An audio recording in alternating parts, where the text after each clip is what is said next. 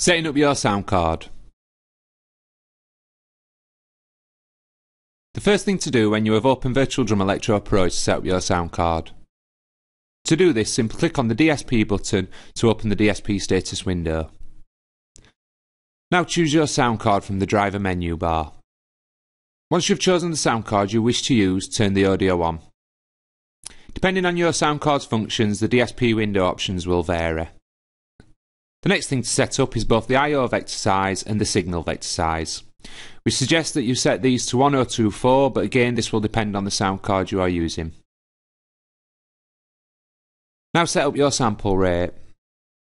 In this case we suggest that you use 44.1 as this is the sample rate that all virtual drum sample banks have been recorded in and it's standard sample rate for commercial CDs. So there you go, your sound card is set up and you're ready to start making some music.